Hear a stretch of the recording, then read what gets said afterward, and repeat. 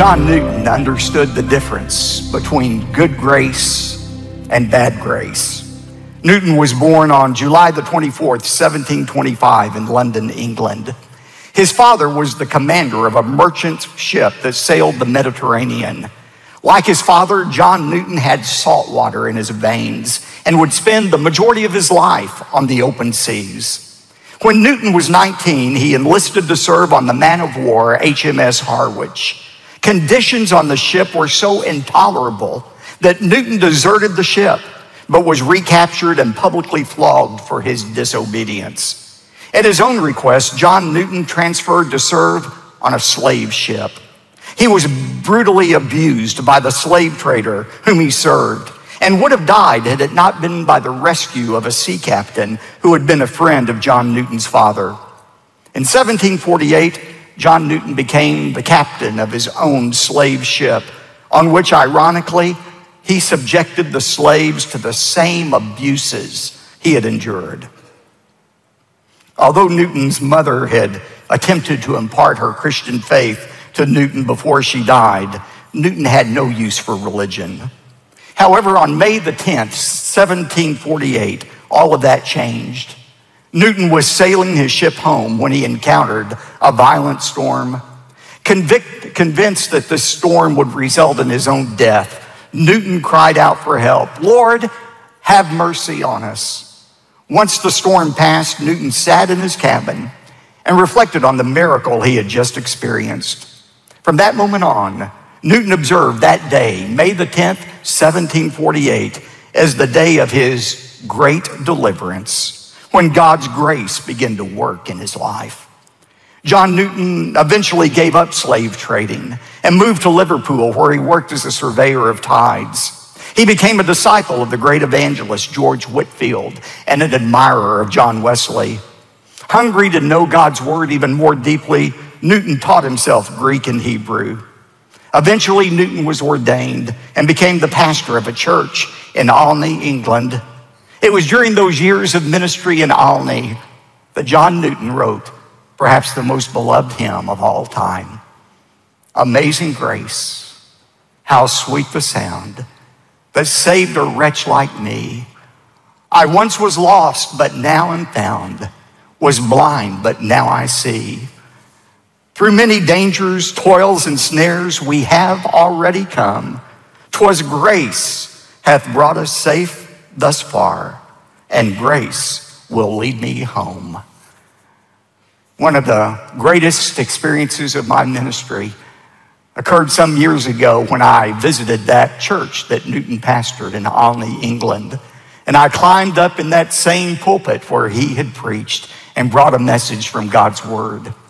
And as moving as that experience was for me, even more moving was going to the back of that church outside to the little cemetery where John Newton was buried.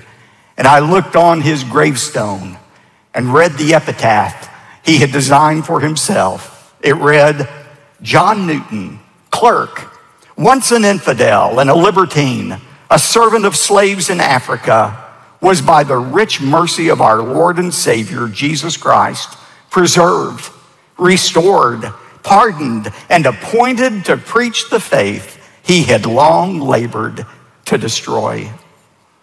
In a moment, in an instant, John Newton had been transformed from a trader of slaves to a slave of Jesus Christ. Grace freed John Newton not to serve no master, but to serve a new master. John Newton's life was truly under new management. Now, there's some of you who would say, Pastor, I'm a Christian, but I don't have a dramatic story like that, a dramatic conversion story. It doesn't matter how you came to faith, whether it was on the open seas in a violent storm or as a seven year old boy or girl. Regardless of how you came to faith, a dramatic change has occurred in your life, whether you realize it or not. And that's what we're going to talk about today and next time. We're going to talk about the seven radical changes that grace, God's amazing grace, brings into our lives. First of all, what does God's grace give to us? First of all, it results in a new awareness of sin. Grace makes us more aware, a new awareness of sin in our life. Remember what we saw last time in Ephesians chapter 2, verse 1? Paul described our condition before Christ. He said, And you were what? Dead in your trespasses and sins. A corpse has no feeling. It's unable to feel anything. And it's that way with us before we are saved. It is grace that teaches us to fear. It is grace that allows us to experience the pain of our sin so that we can accept God's grace. That awareness of sin is not only necessary, listen, to lead us to salvation, but that awareness of sin plays a part in our life after we are saved. It leads us to sanctification. It leads us to become more like Christ. Have you ever noticed the closer you get to God, the more aware you are of your own sin? That too is a gift from God. Paul described that pain he felt even as a Christian about his own sin. In Romans 7, verses 18 through 20, Paul gave this very honest confession of what his life was like even after he had experienced God's amazing grace. He said, For I know that nothing good dwells in me, that is, in my flesh. For the willing is present in me, but the doing of the good is not. For the good that I want, I do not do, and I practice the very evil that I do not want to do. But if I am doing the very thing I do not want, I'm no longer the one doing it, but the sin which dwells in me. Wretched man that I am. Verse 24 Who will set me free from the body of this death? Have you ever felt that way before as a Christian? The things you vow you will never do again, you find yourself doing. And the things you promise to do, you find it hard to do what you've committed to God. That's the truth of every Christian life. Now, the proponents of bad grace, the abusers of grace would have said, Paul, let me help you out with your dilemma. Quit worrying about sin. You're already a Christian. You've already got your ticket to heaven. You have been declared judicially not guilty in the presence of God. You don't need to worry about sin. That's bad grace. That's an abuse of grace. To the purveyor of bad grace, words like confession and repentance, they have no part in uh, their vocabulary. And yet, God wants us to be aware of our sin. And that awareness isn't a curse, it's a gift. It gives us a new awareness of sin. An awareness that leads to salvation, yes, but an awareness, secondly, that leads to our sanctification. There's a second radical change God's amazing grace brings into our life, and that is a new status before God, a new status with God. Paul describes this change in status in our relationship with God by two striking contrasts. First of all, he says grace has changed us from being an enemy of God to becoming a friend of God. Listen to Romans 5, verses 8 and 10. But God demonstrates his own love toward us, in that while we were yet sinners, Christ died for us. For if while we were enemies of God, we were reconciled to God through the death of his son, much more, having been reconciled, we shall be saved by his faith. There's a second contrast to show the new status we have as recipients of God's grace. We have been changed from slaves to sons. We have been changed from slaves to sons. Turn over to Galatians 4, verses 6 to 7. Paul talked about this change. He said, Because you are sons, God has sent forth the Spirit of His Son into our hearts, crying, Abba, Father. Therefore, you are no longer a slave, but a son, and if a son, then an heir through God. Now, you have to understand what this cultural culture is here to understand what Paul is saying. In Paul's day, slaves were considered members of a household. They lived with their owners. And that's why, for example, in Ephesians 5, when Paul discusses relationships in the home, he talks about husbands and wives, children and parents, and slaves and their masters. All were part of a Greek or Roman household. But a slave had no rights whatsoever. A little baby, however, who was part of a family, had a few rights. But a son, somebody between the ages of 14 to 17, at that age, at the father's discretion, sometime in that period of time, he would turn a child into a son and therefore a fellow heir. That boy between the ages of 14 and 17 had full rights to his father's estate. Now, why does that matter here? In the Bible, there are two metaphors that describe how we enter God's family. One is through a new birth. We're born again. That describes the new life we have. But the Bible also says adoption is a picture of the way we enter into God's family. We are adopted into God's family. And here's why that's significant. In Paul's day, if a couple was childless and they wanted a child, many times they wouldn't go out and adopt a little baby. They would adopt a son to carry on their legacy between the ages of 14 and 17. And so when that son was adopted, he came into the family not with just a few rights like a baby would have, he would have the full rights as a fully grown son. And that's what Paul is saying here. When we enter into God's family, we come not as a baby, we come as a son. We are an heir through God. That means everything that belongs to God belongs also to us all because of God's grace. And that means we can cry out to God for anything with any need we have, knowing that He hears us and He will answer us according to His perfect will. What has God's amazing grace done for us? It's given us a new awareness of our sin that keeps us close to God. It's given us a new status with God. No longer enemies, but friends. No longer slaves, but sons. There's a third radical change, and I love this one. God's grace provides a new heart. It gives us a new heart. You know, since the beginning of time, since after the fall, God had promised his people that one day he would give them a new heart. A heart that would be motivated to obey God, not out of fear, but out of genuine desire. In Ezekiel 36, let's get down to verse 26. God promised, Moreover, I will give you a new heart, and I'll put a new spirit within you, and I will remove the heart of stone from your flesh, and I will give you a heart of flesh. When does that new heart, that new set of desires come? Historically, it came after Christ died and was raised from the dead. And at Pentecost, God sent his Holy Spirit to indwell every believer.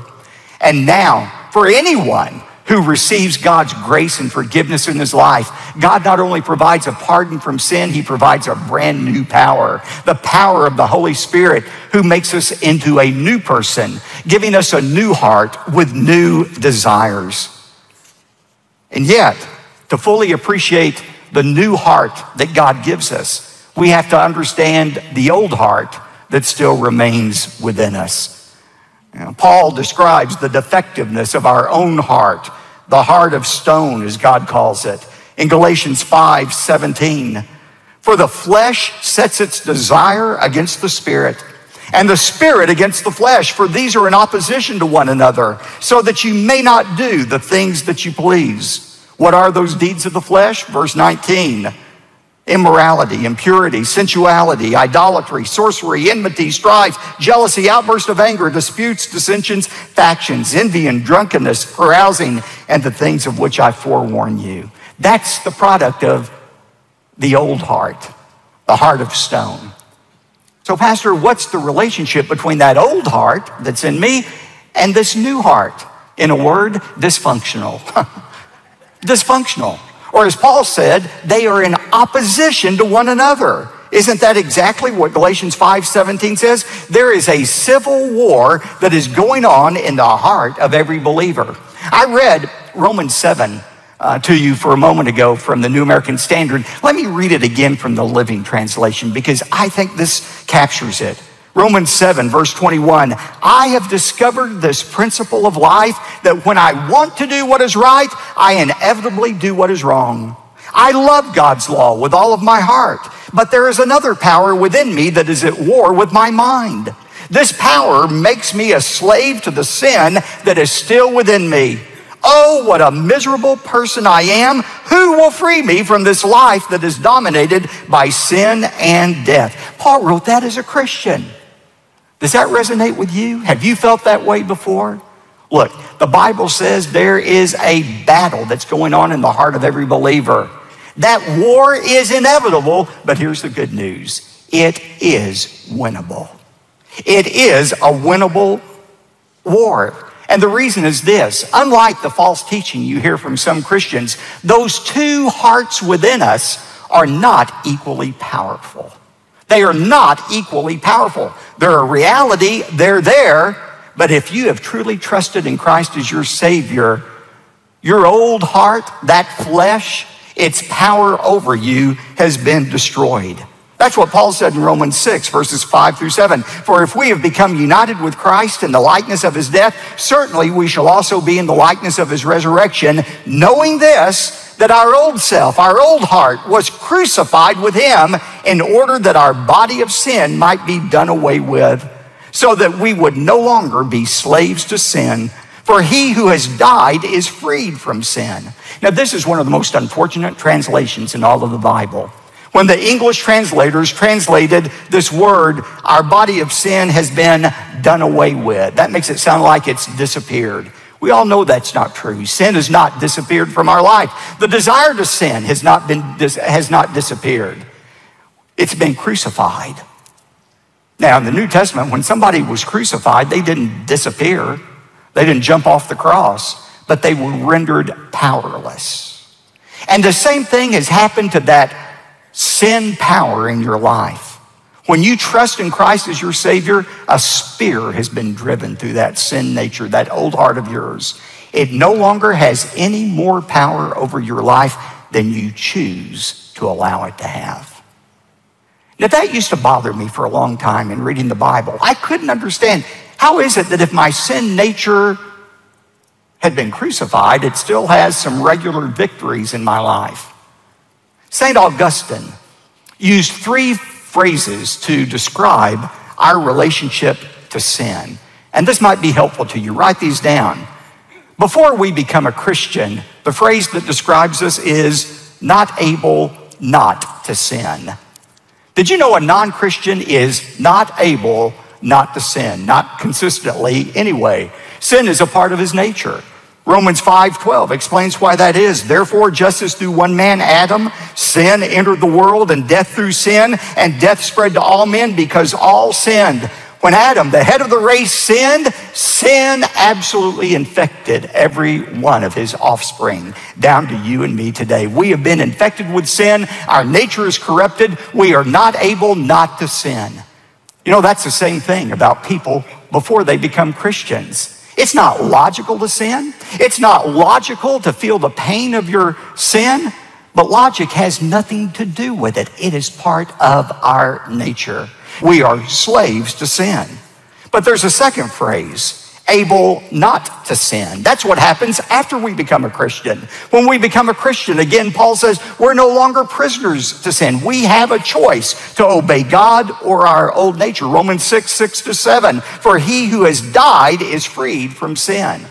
And the third phrase, the one that we look forward to one day, is not able to sin.